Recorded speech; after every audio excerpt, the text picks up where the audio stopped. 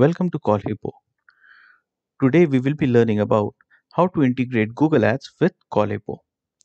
Google Ads integration is offered as a part of CallHippo's call tracking system. This integration has proved to be very helpful in helping manage your Google Ads campaigns. Start by logging in to your CallHippo dashboard. Click on the call tracking tab right at the top and then click on the integrations option that is visible on the left hand side panel. If you haven't purchased the call tracking add-on, this is the screen that you will see. But if you've already purchased it, then you should land on this page. Once you land on this screen, you need to click on the integrate blue button.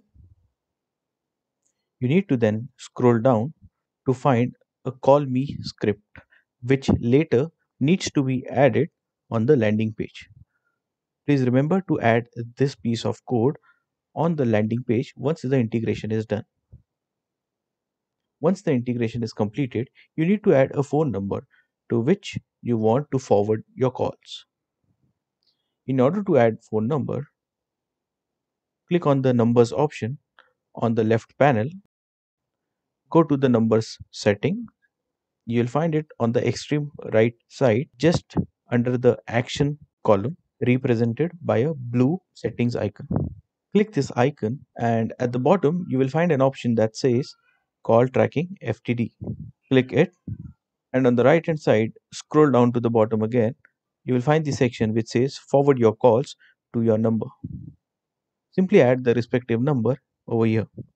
Now that the integration is complete, you need to add the call me script onto your landing page.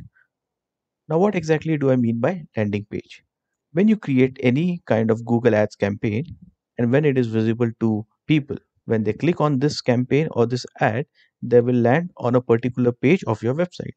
This page is called as the landing page. And you need to add the call me script, that is the piece of JavaScript code on this landing page. After this is done, whenever a visitor lands on the landing page, he will see a call button on the bottom right side of the screen. When he clicks on this button, he will see a tiny pop-up which says request a callback. Now a visitor can simply enter his number over here and request your business to call him back. In order to track the campaigns more effectively, you can add the tracking template in Google Ads to track keywords and campaign details in CallHippo. CallHippo allows callers keyword data to display on call logs, that is the activity feed. For that, users will need to add a tracking template to their Google Ads campaigns. Let me show you how to add the tracking template to your Google Ads campaigns. You need to first log into your Google Ads account and select all campaigns. Then click the settings on the left hand side of the page and on the right click the additional settings option. Click campaign URL options to expand it and then paste the tracking code as shown over here. And that's it. The tracking template is implemented.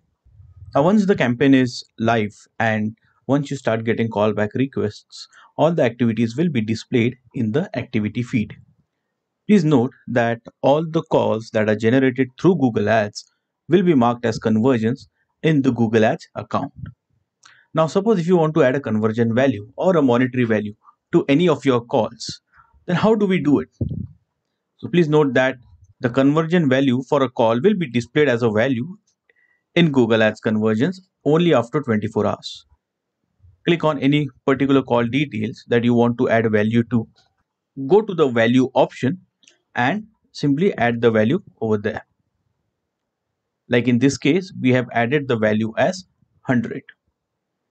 Now just to give you an overview of the dashboard, this is how it should look like. So click on call tracking dashboard. In this dashboard, you'll be able to view the total calls, the first time callers, and the average call duration.